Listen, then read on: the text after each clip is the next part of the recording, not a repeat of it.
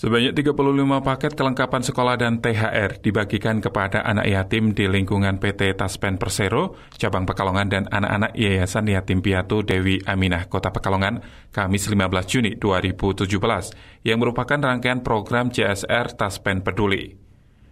Kebersamaan dalam acara buka bersama segenap keluarga besar Taspen bersama 35 anak yatim piatu di lingkungan Kota Pekalongan diselenggarakan yang merupakan program CSR tahunan PT Taspen Persero.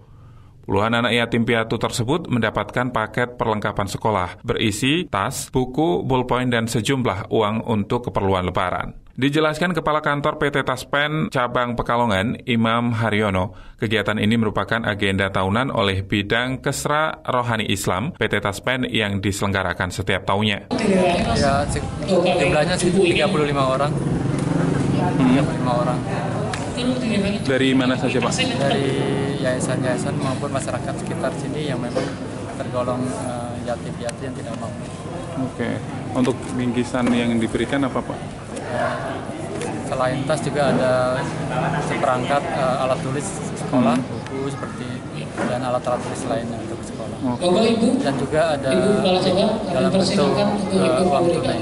Oke. Okay. Pak Subur bisa menambahkan untuk uh, ini berarti setiap tahun memang ini ini. Setiap tahun kami insya Allah akan melakukan seperti ini. Hmm. Kami untuk kita seperti juga bentuknya CSR kita kepada anak-anak yatim itu sekitar kantor dan beberapa yang melalui yayasan yatim piatu. Oke. Okay. Nah, tahun kemarin juga kita udah, insya Allah untuk tahun-tahun depan juga kita secara rutin akan mengadakan seperti ini. Berarti yayasannya ganti-ganti setiap ganti, Terima kasih.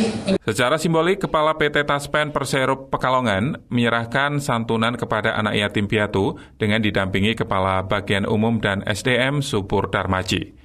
Dengan kegiatan ini diharapkan dapat membantu masyarakat terutama anak yatim piatu untuk merasakan kebahagiaan menyambut Lebaran Idul Fitri 1438 Hijriah yang tinggal 10 hari lagi di Jelang. Ini dapat bingkisan tang ininya gimana?